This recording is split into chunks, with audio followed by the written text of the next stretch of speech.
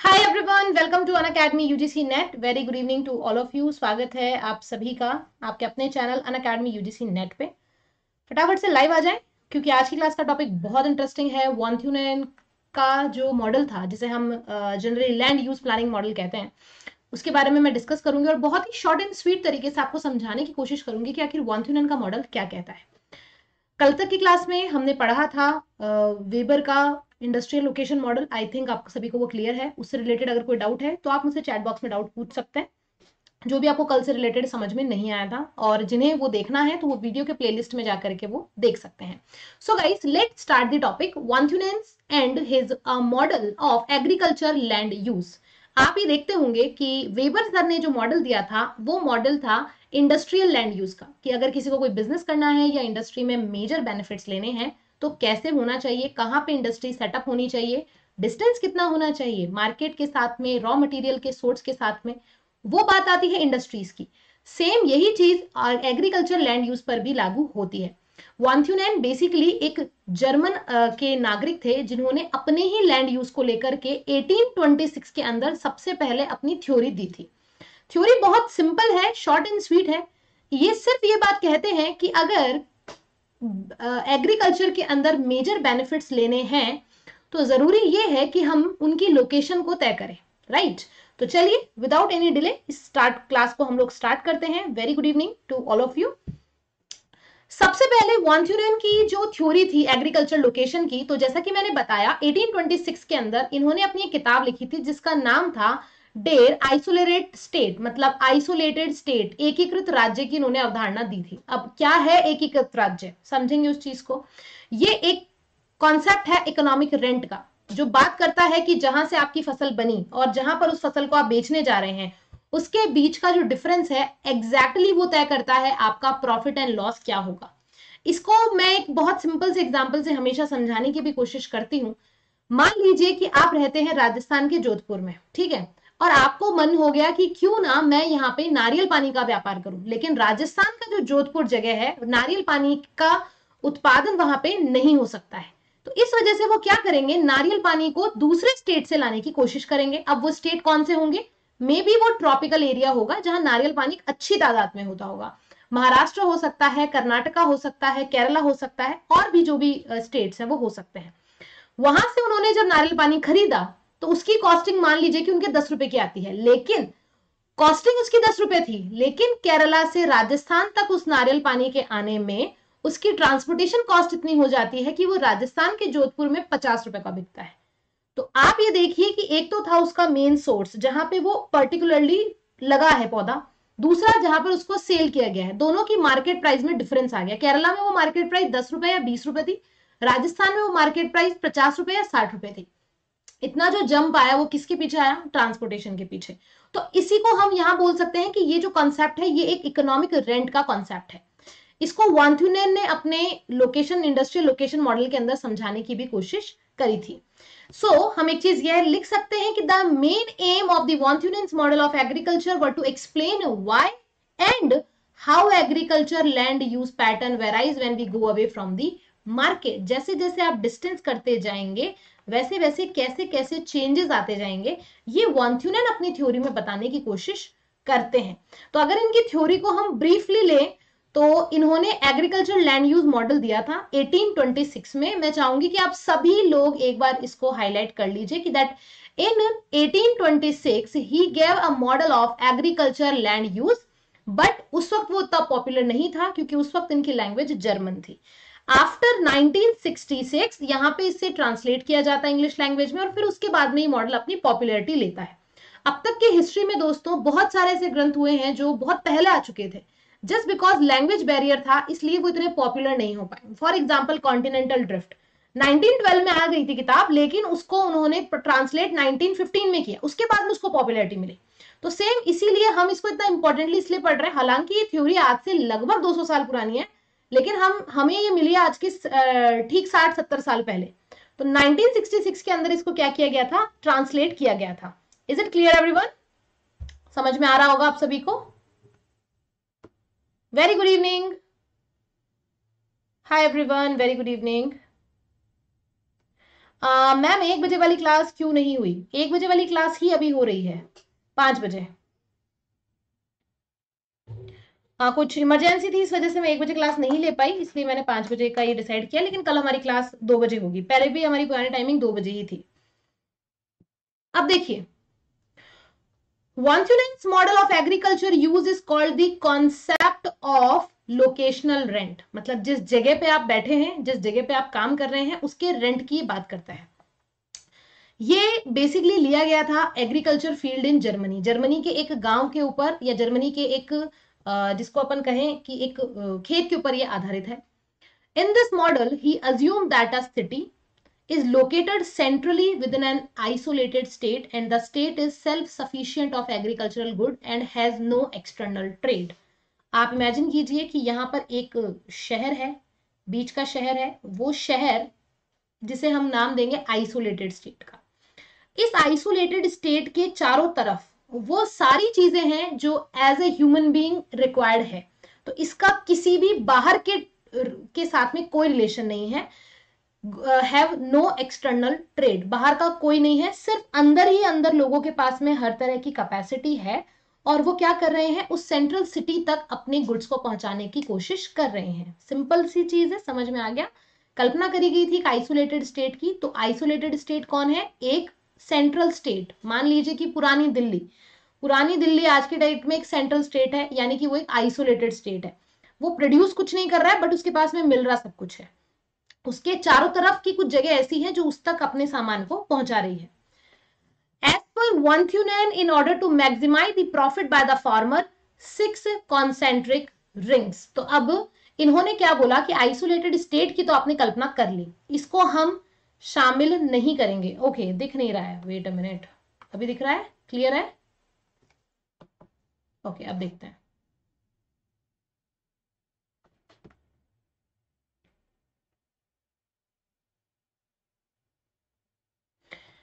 ठीक है he also explained the hierarchy of agriculture crop based on profit making capacity bluntly agriculture goods will be produced near the city as it would save the transportation cost by carrying less distance to the city perishable crops such as vegetable milk product will also be produced near the city lightweight and durable agriculture goods such as rice wheat etc will be grown far away from the city so so, कहने का मतलब एक कल्पना करी गई थी एक city की जिस सिटी में मान लीजिए कि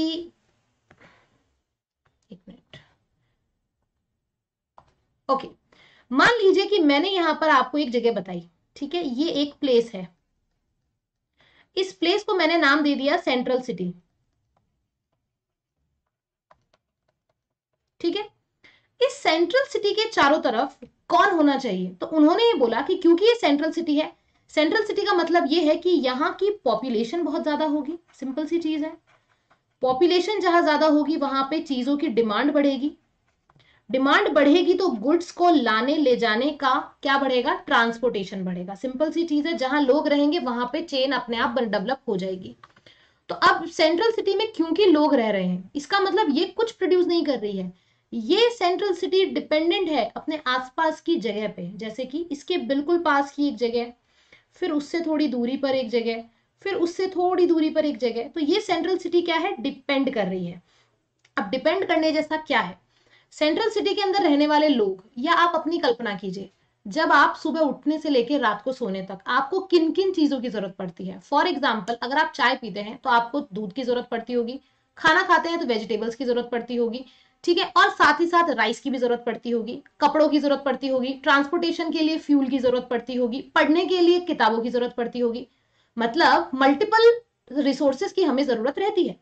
अब क्योंकि ये सेंट्रल सिटी है वांथ्यूनन अपने मॉडल में कहते हैं कि यहाँ पे कोई एक्सटर्नल ट्रेड नहीं हो रहा है सेंट्रल सिटी के आसपास।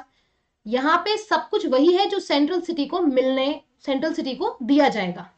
तो इसमें ये कहते हैं कि कैसे फार्मर की बचत करी जाए।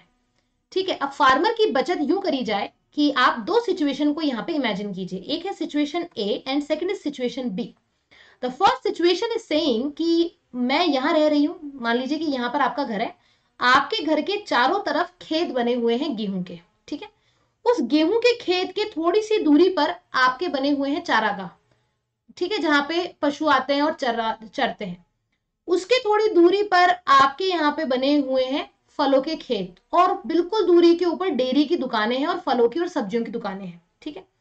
तो आप मुझे बताइए कि डेली यूजेस में आपको गेहूँ, चावल डेली यूजेस में खरीदने पड़ते हैं, या फिर डेली यूजेस पे आप फ्रूट्स खरीदते हैं मिल्क खरीदते हैं, या वेजिटेबल्स खरीदते हैं? जनरल से सवाल आएगा कि मैम वेजिटेबल्स हम डेली बेसिस पे खरीदते हैं राइस व्हीट कुछ लोग एनुअली खरीद लेते हैं, कुछ लोग मंथली खरीदते हैं।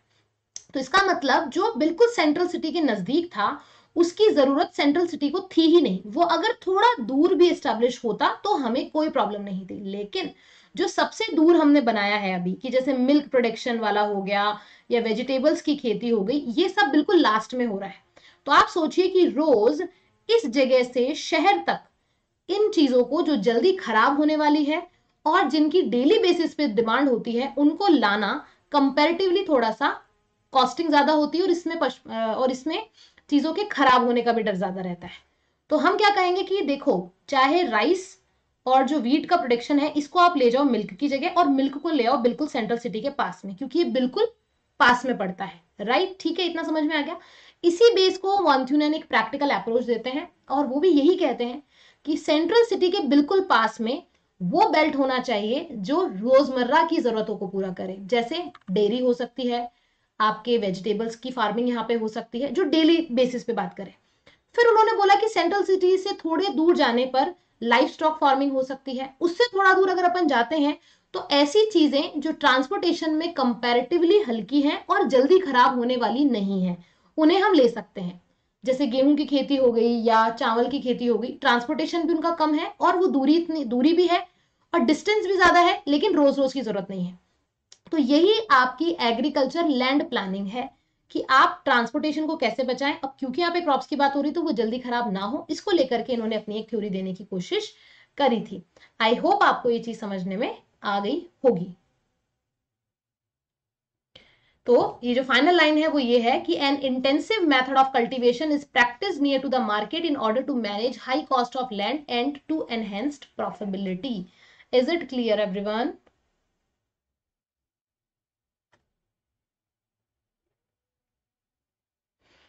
so so, अब मैं आप लोगों के पास में एक बताऊँगी कि हम जनरली वैसे तो हम लोग टाइप्स ऑफ़ एग्रीकल्चर पढ़ते हैं लेकिन यहाँ पर हम बात करेंगे कि वॉन्थ्यून ने अपना मॉडल तो दिया।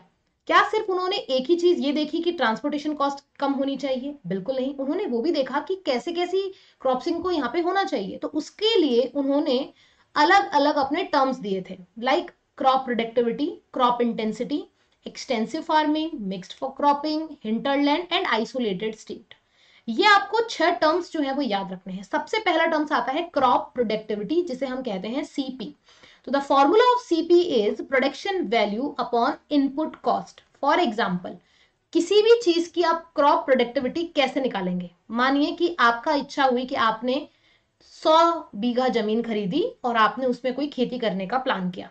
अब आप समाज कल्याण के लिए तो खेती करेंगे नहीं, आप ये देखेंगे कि मुझे भी कुछ प्रॉफिट होना चाहिए। तो जितना आप पैसा लगाओगे और आप उसको कितने दामों में बेचोगे कि आपको एक अच्छा बेनिफिट हो जाए? वही आपकी क्रॉप प्रोडक्टिविटी है। अब क्रॉप प्रोडक्टिविटी का मतलब हम ये बोल सकते हैं कि मान लीजिए कि आपके पास में एक हेक्टेयर ज़मीन थी, ठीक है? उस एक हेक्टेयर ज़मीन पर आपने गेहूँ लगा दिए ठीक है? अब आपने मान लीजिए कि वो जो गेहूँ आपने लगाया तो आपने ये सोचा कि मेरा एक हेक्टेयर पर मेरी जो लागत आई है, वो दस रुपए की आई है। एक हेक्टेयर पर लागत कितनी आई है? दस रुपए की आई है। लेकिन आपको उसको बेचना सौ रुपए पर है। आपकी इच्छा है कि मैं ये एक मेरा जो गेहूँ है, पर हेक्टेयर में मैं उसको सौ रुपए में बेचूं। आपकी लागत कितनी आ रही है?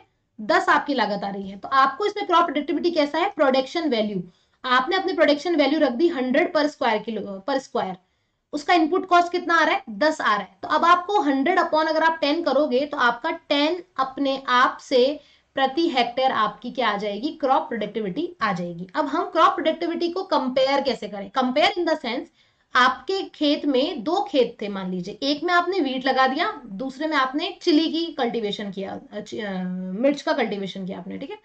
अब उसमें आप क्या करेंगे? सेम वन हेक्टेयर में आपने गेहूँ लगाया था सेम सेकेंड हेक्टेयर में आप क्या लगा रहे हैं? आप मिर्ची लगा रहे हैं, ठीक है? तो आपने क्या किया है? On one hectare of land the same land when we grow chilies it cost 12 to grow chilies by 200 rupees ठीक है? Then the productivity of the chilies comes to 200 upon 12 is equal to 16.17 तो एक तरफ़ हमारे पास में जो productivity आ रही थी गेहूँ की, वो 10 थी। अभी जो हमारे पास में प्रोडक्टिविटी आ रही है, वो 16.67 है। तो comparatively the productivity of chili is greater than wheat तो यही चीज़ों को देख करके किसान हमेशा फ़सल लगाता है। एक किसान है जो आ, कई टाइम से गेहूँ ही गेहूँ लगाया जा रहा है। हालाँकि उसका खेत बहुत बड़ा है पर वो गेहूँ लगा रहा है। वहीं दूसरी तरफ़ दूसरा किसान है वो अपने खेत के अंदर बीन्स लगा रहा है फलियाँ लगा रहा है। हालाँकि उसका खेत छोटा है लेकिन उसकी कॉस्टिंग इतनी हाई है कि उसका जो सीपी है क्रॉप प्रोडक्टिविटी कंपेरेटिवली ज़्यादा चली जाती है। तो इसे अपन कहते हैं फ़सल उत्पादकता। सीधा सीधा सवाल आपके एग्ज़ाम में इससे बन सकता है कि क्रॉप प्रोडक्टिविटी को कैसे मेजर करें? तो आपका जो डिस्क्राइब्ड प्रोडक्शन वैल्यू है वो और उसका जो इनपुट कॉस्ट लगा है वो, इसको आपको अपॉन कर लेना है और आपका आंसर निकल करके आ जाएगा।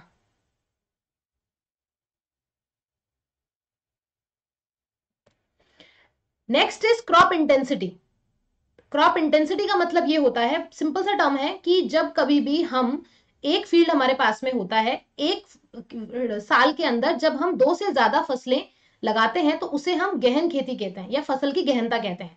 इसके लिए हम इसलिए करते हैं ताकि कम जगह के ऊपर हम ज़्यादा से ज़्यादा प्रॉफिट ले पाए। फॉर एग्ज़ाम्पल मान लीजिए कि आपके पास में वन हेक्टेयर ज़मीन थी। इस वन हेक्टेयर ज़मीन पे आप सालों से सिर्फ़ गेहूँ लगाते हुए आ रहे थे। आपके किसी दोस्त ने आपको सलाह दी कि देखो तुम दो चार फ़सलें लगा के देखो, हो सकता है तुम्हें बेनिफिट हो। तो गेहूँ की जो क्रॉप प्रोडक्टिविटी थी ना, वो आपको ये हो रहा था कि आपको एक हेक्टेयर भूमि पे गेहूँ लगाने पर आपको लगभग लगभग वन लैख का प्रॉफिट हो रहा था राइट अब दूसरी तरफ़ आपने क्या किया? आपने दोस्त की सलाह मानी और गेहूँ को रख दिया आपने ओनली ट्वेंटी फाइव परसेंट पे, ठीक है? उसके बाद में आपने क्या किया? ट्वेंटी फाइव परसेंट पे आपने लगा दिए हैं beans other twenty five percent पे आपने लगा दिए हैं मेन्स और अदर ट्वेंटी फाइव परसेंट में आपने लगा दिए कोई और फ़सल, ठीक है?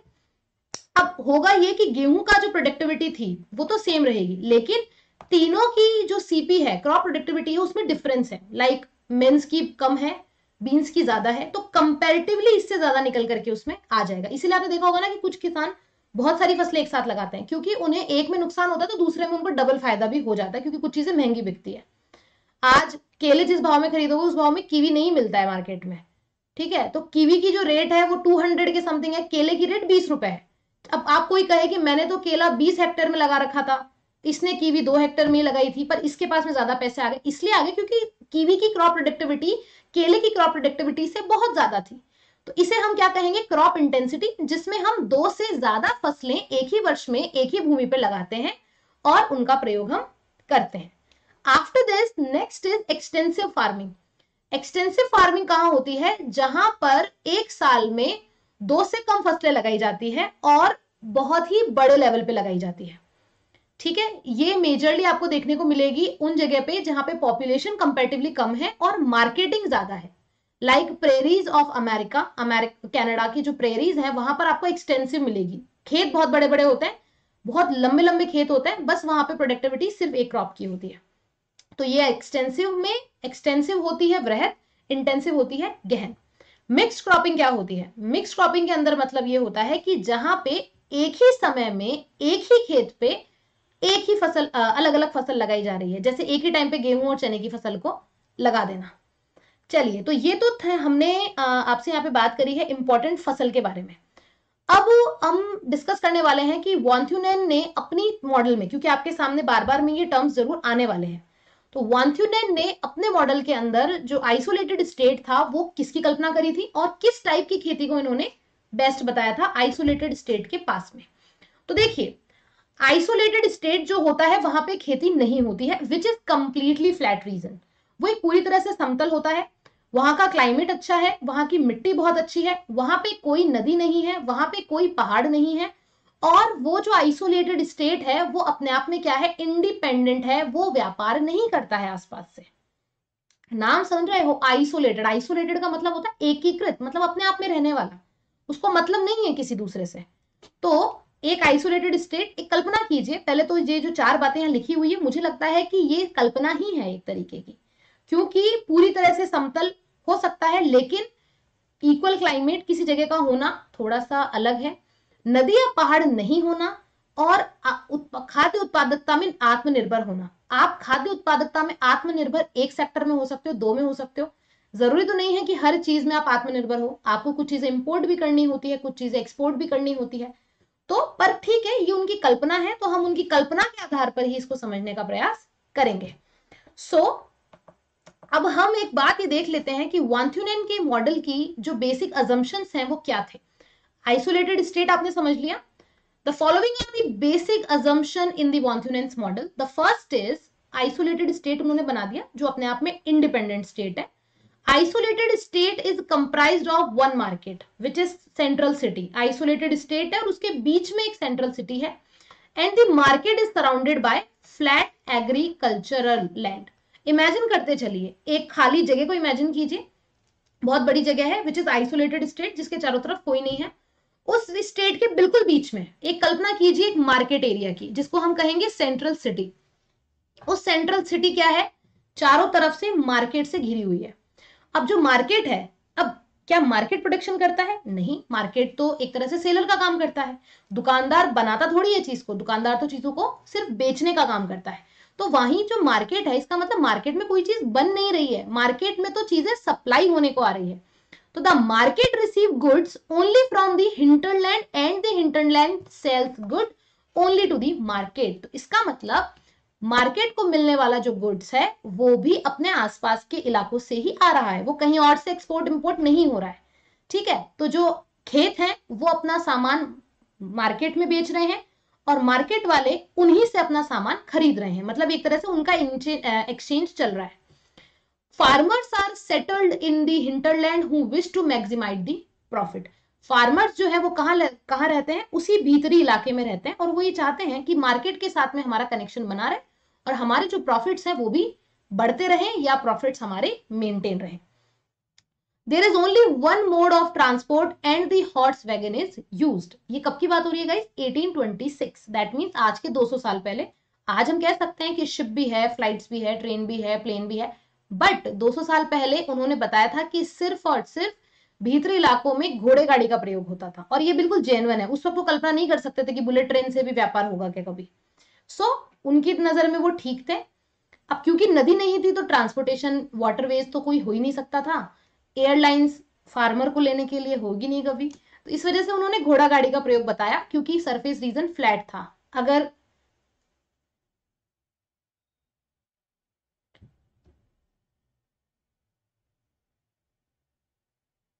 ठीक है?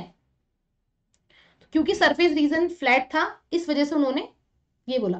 There is only one mode of transport and the horse wagon is use the market is not accessible by water way and there is no road transportation cost is directly proportional to the distance and weight of the material same line वेबरसन ने भी कल बोली थी। कल की class में अगर आपने पढ़ा हो तो सेम लाइन वेबरसन ने भी बोली थी। कि ट्रांसपोर्टेशन जो कॉस्ट होती है is always proportional directly proportional to the distance and the weight of the material is it clear ये आपके वॉन्थ्यूरियन की मूल धारणाएँ थी। मैं एक बार ब्रीफ कर देती हूँ आपको। एक लैंड है जो कंप्लीटली आइसोलेटेड है, जिसके पास में सारी फेवरेबल कंडीशन है एंड वो किसी पर भी डिपेंड नहीं है। उस लैंड के बिल्कुल बीच में एक जगह है जहाँ पे लोग रहते हैं which is central city central city is surrounded by the market market में जो गुड्स आते हैं, वो रिसीव किए जाते हैं मार्केट के चारों तरफ़ फैले हुए खेतों से। खेत मार्केट को अपना माल देते हैं मार्केट खेतों से अपना माल लेता है।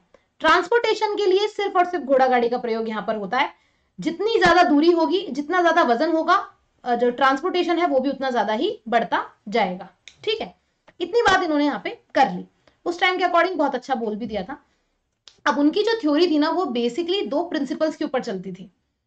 पहला प्रिंसिपल क्या था भाई? इंटरेस्टिंग है पहला प्रिंसिपल काफ़ी। The first principle is crop intensity decrease with increasing the distance from the market अगर आप मार्केट के बिल्कुल पास में आपका खेत है तो आपकी क्रॉप इंटेंसिटी हाई होगी। लेकिन मार्केट से अगर आप दूर जाकर के अपने क्रॉप क्रॉप को लगा रहे हैं तो उसकी इंटेंसिटी कंपेटिवली कम हो जाएगी। प्रोडक्टिविटी कंपेटिवली डिक्रीज हो जाएगी, अगर आप मार्केट से अपना डिस्टेंस को कम करोगे तो हट, बढ़ाओगे तो। Agriculture land use pattern change with distance increase from the market तो जैसे इसका मतलब ये है कि मार्केट से जितना जुड़ जाते जाओगे agriculture pattern agriculture pattern change हो जाएगा। साथ ही साथ आपका जो क्रॉप की प्रोडक्टिविटी है वो डिक्रीज हो जाएगी क्रॉप की इंटेंसिटी डिक्रीज हो जाएगी। तो प्रोडक्टिविटी इंटेंसिटी एंड पैटर्न तीनों चेंज हो जाएँगे जैसे जैसे मार्केट से दूर जाते आप जाएँगे। तो ये थे इनके दो सिद्धांत। इन सिद्धांतों को याद रखना है। अब सीधे सीधे टू, दो मॉडल आपके सामने आ चुके हैं। एक आ गया है क्रॉप की इंटेंसिटी एंड प्रोडक्टिविटी डिक्रीज हो रही है। दूसरा आ गया है लैंड यूज़ पैटर्न भी चेंज हो रहे हैं। अब सिंपल सा सवाल फिर से एक बनता है कि कैसे क्रॉप की इंटेंसिटी एंड प्रोडक्टिविटी डिक्रीज होती है, जैसे मार्केट से डिस्टेंस हम बढ़ा लेते हैं। देखिएगा इस इसके लिए आपको समझना पड़ेगा लोकेशनल रेंट कॉन्सेप्ट कैसे? दो सिद्धांतों और बुनियादी मान्यताओं का उपयोग करते हुए वांथ्यूनेन ने इष्टतम भूमि उपयोग पैटर्न देने की कोशिश करी, जो कोशिश करता है कि किसान के लाभ को या किसानों की प्रोडक्टिविटी को वो बढ़ा दे, क्योंकि उन्होंने जो सबसे पहले एक्सपेरिमेंट किया था ना, वो अपने ही लैंड के ऊपर किया था। तो ये फार्मर्स के फेवर में दिया गया एक सिद्धांत था। तो क्योंकि उन्होंने बोला है कि farmer is an economic person और वो हमेशा ये चाहेगा कि मेरी जो क्रॉप है, उससे मुझे मैक्सिमम प्रॉफिट मिले। तो उसके लिए उन्होंने क्या दिया था? वॉलंथ्यूर ने एक फॉर्मूला दिया गया था, जो कि लोकेशनल रेंट की बात करता है। मतलब आर्थिक जो किराया है, उसकी बात करता है। तो is L is equal to Y P minus A minus K M अब ये क्या है? फॉर्मूला तो हमने यहाँ पे लिख दिया है but what is this L क्या है? L is the total rent और नेट प्रॉफिट मतलब अब जनरल सी चीज़ है, मैंने कोई चीज़ सौ रुपए में खरीदी और मैं अगर उस चीज़ को दो सौ रुपए में बेचती हूँ तो मेरा जो नेट प्रॉफिट होगा वो हंड्रेड आएगा, ठीक है? अब इतना मैंने खरीदा, फिर मैंने उसको 200 में बेचा, इसके पीछे का मेरा रीजन क्या था? रीजन था मेरा प्रॉफिट राइट मैंने प्रॉफिट के लिए तो किया ये अब जनरली कोई भी काम कोई करता है, जितनी भी आप दुकानें देख लीजिए इंडस्ट्रीज़ देख लीजिए, वो इस एल के लिए होती है। मतलब इस प्रॉफिट के लिए होती है कि अल्टीमेटली हमारे पास में कितना बचा। जनरली आप कहीं भी दुकान पे कोई सामान खरीदने जाते हैं तो बार्गेन कराते हैं हम कई बार। बार्गेन कराते हैं तो कहते हैं भैया, इतने में ही दे दो। तो बोलता है इतने में तो हमारे ही नहीं पड़ा। फिर हमारे क्या बेनिफिट होगा? हम भी यहाँ दो पैसे कमाने के लिए बैठे हैं। कुछ परमानेंट लाइन होती है दुकानदारों की। तो एल का मतलब हो गया नेट प्रॉफिट अब हमें हमेशा से ही यही जानने की कोशिश होती है तो कैसे जानेंगे? तो उसके लिए आपको लगाना पड़ेगा ये formula y is equal to P minus A M minus K M तो what is y? Y is crop intensity और प्रोडक्टिविटी पर यूनिट कि आपकी पर यूनिट क्रॉप इंटेंसिटी कितनी थी? मतलब आपकी फ़सल गहनता कितनी थी? इसके लिए p क्या है? P इज़ मार्केट वैल्यू कि आपने कोई प्रोडक्ट लगाया, उस प्रोडक्ट की मार्केट वैल्यू इतनी है। ए क्या है? A is per unit cost of crop cropping and K is the distance from market to agriculture field and M is per ton transportation cost तो इसको आप कुछ ऐसे समझिए कि वाई का मतलब हो गया कि क्रॉप इंटेंसिटी और प्रोडक्टिविटी आपको देखनी थी। uh, जैसे मान लीजिए कि मैंने एक किताब लिखी है जस्ट इन केस किताब लिखी है। उस किताब को लिखने की जो मैंने उसकी मार्केट वैल्यू बताई है उस किताब की वो मैंने 500 बताई है। इमेजिन करना है इसको अपन ऐसे निकालते हैं कि भाई मैंने किताब लिख दी मेरी किताबें बिक गई अब मुझे उसका प्रॉफिट निकालना है। तो मुझे पता लगाना है एल एल के लिए मैं क्या करूँगी? सबसे पहले मुझे वाई का पता लगाना पड़ेगा। तो वाई क्या है? क्रॉप इंटेंसिटी और प्रोडक्टिविटी पर यूनिट की। मेरी कितनी क्रॉप मेरी इंटेंसिटी कितनी थी? और आ, कितना मैंने किया है? तो फॉर एग्ज़ाम्पल मान लीजिए कि मैंने इनिशियली मैंने 200 किताबें निकाली है। इनिशियली मेरी 200 किताबें बन करके आई है ठीक है? तो दो सौ किताबें मेरी बन गई। 200 किताबें बनने के बाद में मुझे बताना है पी मार्केट वैल्यू कि मेरे जो प्रोडक्ट है या जो मैंने किताब लिखी है, उसकी मार्केट वैल्यू क्या है? तो मेरी नज़र में मेरी किताब की मार्केट वैल्यू पाँच सौ रुपए है, ठीक है? अब मुझे ये भी पता लगाना होगा कि मेरी उसमें कितनी कॉस्टिंग आई है। तो A is per unit cost of cropping तो मेरी एक किताब की कॉस्ट मैंने मार्केट वैल्यू के अकॉर्डिंग तो 500 बताई है। लेकिन मेरी जो उसमें कॉस्टिंग आई है, वो वन फिफ्टी आई है इन केस ठीक है? वन फिफ्टी इसमें आ गई है। अब मुझे आगे चल के क्या करना पड़ेगा? K is the distance from the market to agricultural field इसको आप ये देख सकते हो कि मैंने जो किताब लिखी है, उसको फिर मैं मेरे किसी पब्लिकेशन को दूँगी। तो उस पब्लिकेशन को देने में मेरे को कितना पैसा लगा? और उसके थ्रू ट्रांसपोर्टेशन जो हुआ, आपने जब अपने घरों पे मंगवाया तो उसमें कितना पैसा लगा? तो ऐसे हम हर चीज़ को टोटली पता लगा पाते हैं। तो यही आपका एक फॉर्मूला है, जिसमें आप जिसमें आप देख सकते हैं कि लोकेशनल रेंट का पता या इसमें हमारा जो बेनिफिट है, वो कैसे आ सकता है। अब इसके लिए आपके साथ में जो सवाल यहाँ बन सकता है, वो ये कि एल की क्या वैल्यू है वाई क्या होता है पी ए के एम क्या क्या है? तो इसको हम क्या करेंगे? हमेशा डिस्टेंस जो मार्केट का है वो और पर जो ट्रांसपोर्टेशन कॉस्ट है उसको हमेशा मिक्स किया जाएगा। राइट समझ में आ गया?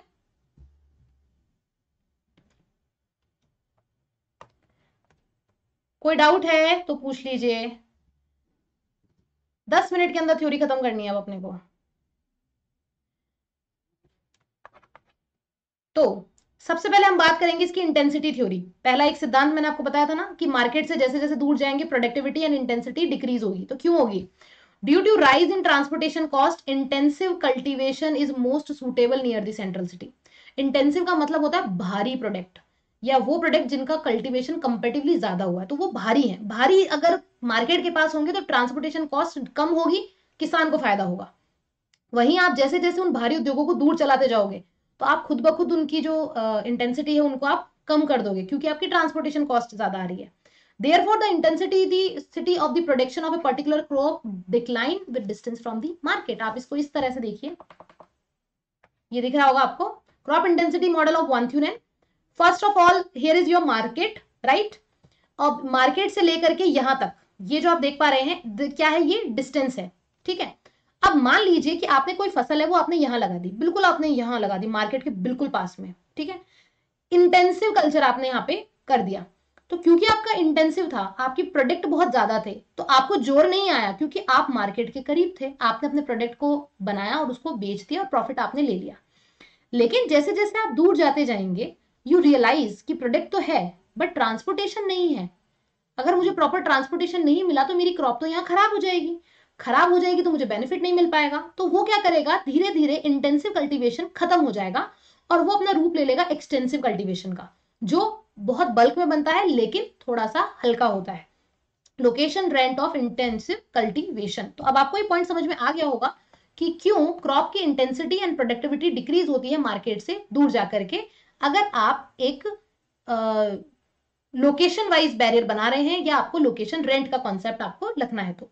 दूसरी आती है क्रॉप थ्योरी क्रॉप थ्योरी क्या होती है? There will be variation in the land use with distance and the responsible for the variation in the land use pattern are market price to a particular crop transportation cost production cost and yield per unit of land the crop theory of von Thunen can be understood by taking the following two cases तो आप इसको समझिए कि वॉन्थ्यूरियन की crop theory क्या कहती है। सबसे पहले जो थ्योरी कहती है वो ये कि when two crops P and Q the name of the crops are P and Q have the same production cost yields per but having different transportation cost and market prices मतलब P को आपने लगाया अपने खेत में और Q को लगाया। दोनों को लगाने में ही मान लीजिए कि आपके एक एक हज़ार रुपए खर्च होते हैं। दोनों का खर्चा था एक एक हज़ार रुपए। लेकिन जब ये प्रोडक्ट लगा, फिर आपने बोला कि चलो ठीक है, अब मार्केट में जाके इनको सेल करते हैं। तो दोनों की जो ट्रांसपोर्टेशन कॉस्ट थी ना, उसके अंदर चेंज आ गया। दोनों की मार्केट प्राइस में चेंज आ गया। ऐसा हो सकता है, ठीक है? मान लीजिए कि आपने हज़ार रुपए के टमाटर लगाए, हज़ार रुपए के आपने आलू लगाए। टमाटर की जो आप टमाटर की जो आप देखेंगे ना ट्रांसपोर्टेशन कॉस्ट वो थोड़ी हाई होगी। इसलिए होगी क्योंकि टमाटर जल्दी खराब होने वाली फ़सल है। टमाटर की जो रेट होगी, वो भी हाई होगी, क्योंकि जल्दी खराब होने वाली फ़सल है। अगर बहुत ज़्यादा टमाटर का प्रोडक्शन हो जाएगा तो वो बहुत लो भी चला जाएगा, क्योंकि बहुत जल्दी खराब होने वाली फ़सल है। लेकिन अगर वहीं आलू की देखे जाए तो इसकी रेट हमेशा एक सिमिलर चलेगी। इसको आप स्टोर भी कर सकते हो। दोनों की रेट सेम थी, लेकिन मार्केट वैल्यू और ट्रांसपोर्टेशन कॉस्ट में डिफरेंस आ गया। अब देखिए, अब मैं बोलती हूँ कि इफ़ पी पी का मतलब आप कंसिडर कर लीजिए potato is costlier to transport and has a higher market price on on price then crop P will be grown closer to the market than Q due to the higher transportation cost of P the location rent of P decrease more rapidly this is the case one ये, इस diagram से आप इसको समझिए। जो आपको pink colour में दिख रहा है, ये इंटेंसिव है। जो आपको पिंक कलर में दिख रहा है ये इंटेंसिव है, और जो आपको ग्रीन कलर में दिख रहा है, ये एक्सटेंसिव है। मार्केट है मार्केट से डिस्टेंस है। अब मान लीजिए कि ये तो है पी का कर्व पी की मार्केट वैल्यू क्या थी? बहुत ज़्यादा थी। रेट उसकी बहुत ज़्यादा थी। इस वजह से वो मार्केट के कंपेरेटिवली नियर था। क्यों? क्योंकि उसकी वैल्यू बहुत ज़्यादा थी तो वो नियर था।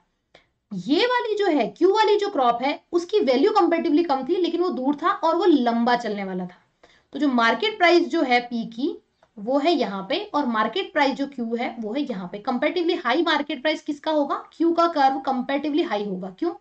क्योंकि इन्हें जल्दी नहीं है। इनका मार्केट से अच्छा खासा डिस्टेंस भी रहा है। ठीक है? अब इसी सिनेरियो में जब हम केस टू को देखें, एक केस में तो हमने देखा कि पी और क्यू की वैल्यू सेम थी सॉरी उनका जो कॉस्टिंग थी वो सेम थी बट वैल्यूज़ डिफरेंस थी।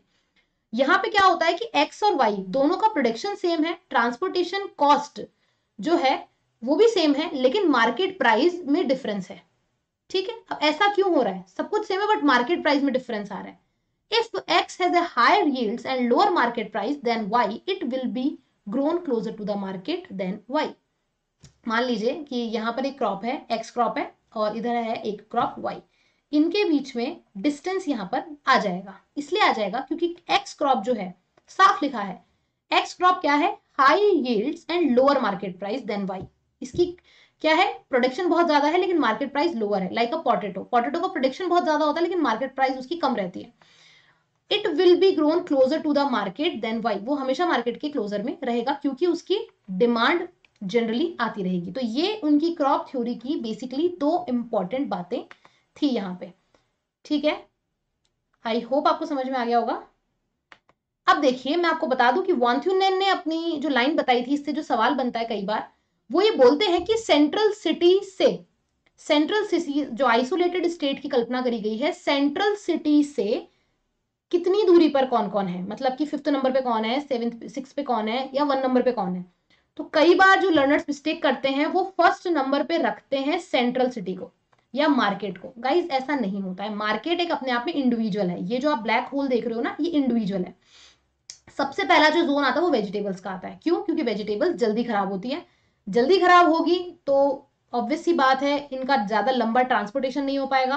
ट्रांसपोर्टेशन ज़्यादा लंबा होगा तो प्रोडक्टिविटी कम हो जाएगी। तो इस वजह से ये हमेशा याद रखना नियर दी मार्केट होगी और नंबर वन पे होगी। उसके बाद में आती है आपकी टिम्बर फ़ार्मिंग मतलब वो फ़ार्मिंग जिसमें कंपेरेटिवली कम समय लगता है और उसका ट्रांसपोर्टेशन इजीली किया जा सकता है।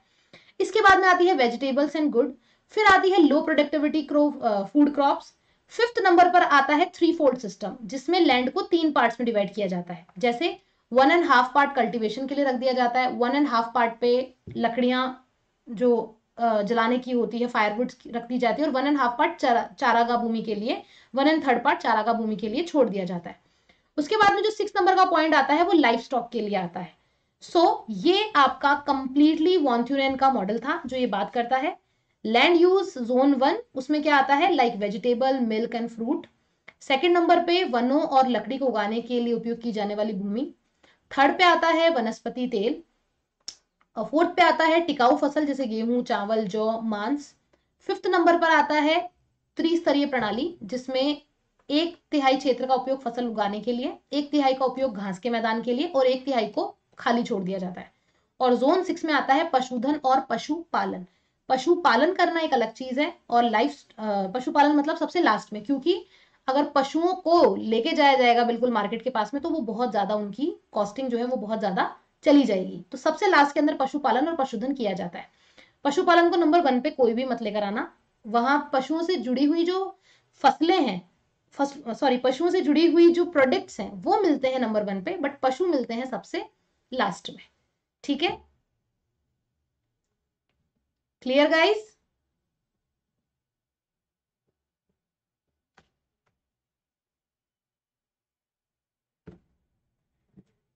चलिए। तो इससे आगे की जो कल बातें हैं, वो हम करेंगे आगे की क्लास में। मेजोरिटी मैंने आप लोगों को समझा दिया है। आई होप आपको ये समझ में आ गया होगा। अब मैं आपसे पूछने जा रही हूँ क्विक क्वेश्चन जो आज की क्लास में मैंने करवाए हैं which of the following gave the concept of economic rent Ricardo von Thunen Alfred Weber and August Losch दस सेकंड का टाइम है गाइज़ आपके पास में। Within ten second answer आपको दे देना है।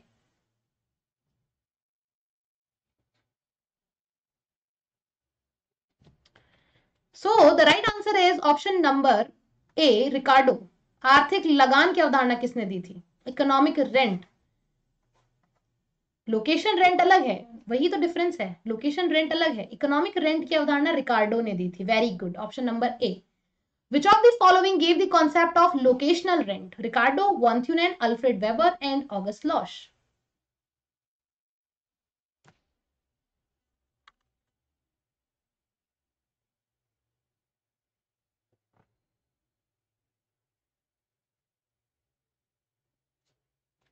सही जवाब option number B von Thunen next which of the following gave the concept of least cost theory Ricardo von Thunen Alfred Weber and August Losch न्यूनतम लागत सिद्धांत किसने दिया? ये कल की क्लास का भी रिवीजन है।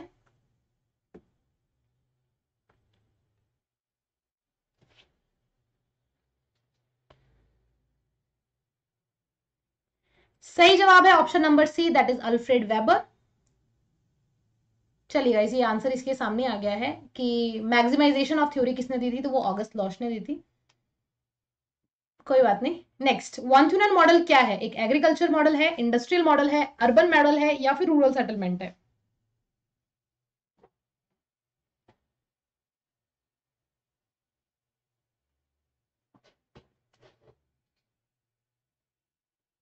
Correct answer option number A this is the agriculture land use model thank you very much guys आज की क्लास के लिए। तो out of five out of five जिसके हुए हैं अच्छा स्कोर किया है आपने। कल मिलते हैं आपसे। कल की क्लास में हम पढ़ेंगे एक नए कॉन्सेप्ट को। तो कल की क्लास में भी कल की क्लास होगी हमारी दो बजे से। तो जुड़ना मत भूलिएगा कल की क्लास में मेरे साथ में। और साथ ही साथ गाइस अगर आप अन अकेडमी सब्सक्रिप्शन लेना चाहते हैं तो आप ले सकते हैं, क्योंकि मैं लॉजिकल रीजनिंग का नया बैच लेकर आ रही हूँ उनतीस तारीख से मतलब कि अपकमिंग मंडे ऑब्वियसली मंडे होगा हाँ अपकमिंग मंडे से शाम को पाँच बजे होगा। अगर आप सब्सक्रिप्शन लेना चाहते हैं तो आज कल में अपना सब्सक्रिप्शन लेके आप बीस परसेंट ऑफ़ ले सकते हैं। और यू जी सी टेन है मेरा रेफरल कोड जो आपको बीस परसेंट ऑफ़ देगा। तो दोस्तों, अभी लॉजिकल रीजनिंग का बैच आ रहा है और उनतीस तारीख से ही ज्योग्राफी का भी बैच आ रहा है मॉर्निंग में टेन थर्टी ए एम पे। तो ये दो बैच मैं आपके लिए एक दिन को ला रही हूँ मतलब अपकमिंग मंडे से हमारी प्लस क्लासेस स्टार्ट हो रही है। तो आप अगर जुड़ना चाहते हैं तो जुड़ सकते हैं UGC ten referral code apply कर सकते हैं और ट्वेंटी परसेंट ऑफ़ आपको आज की क्लास में, अब, आज, कल, आज और कल, आज ट्वेंटी फाइव हो चुकी है twenty fifth and twenty six को अगर आप सब्सक्रिप्शन लेते हैं तो आपको twenty five twenty percent off भी मिल जाता है। ये आपके सामने है प्राइस लिस्ट आप देख सकते हैं कि ट्वेंटी परसेंट ऑफ़ से आपको कैसे कैसे बेनिफिट होते हैं। थैंक यू वेरी मच बिल्कुल आज ऐप पे क्लास है और नौ बजे ही अपनी क्लास आज ऐप पे होने वाली है। अगर आपको आज की क्लास से रिलेटेड कोई भी डाउट है तो आप इजिली कमेंट करके मुझसे अपने डाउट्स को पूछ सकते हैं, ताकि मैं कल की क्लास में आपके डाउट्स को ले पाऊँ। थैंक यू वेरी मच आपके कमेंट्स का मुझे इंतज़ार रहेगा। मेरी क्लास अगर आपको आज की अच्छी लगी है तो आप लाइक कर सकते हैं शेयर कर सकते हैं, और इस क्लास का पीडीएफ मिलेगा आपको टेलीग्राम पे। टेलीग्राम पे जुड़ करके आप मेरे साथ में पीडीएफ भी ले सकते हैं सक्सेस नेट जेआरएफ पे जाकर के thank you very much have a great day have a nice day let's crack it guys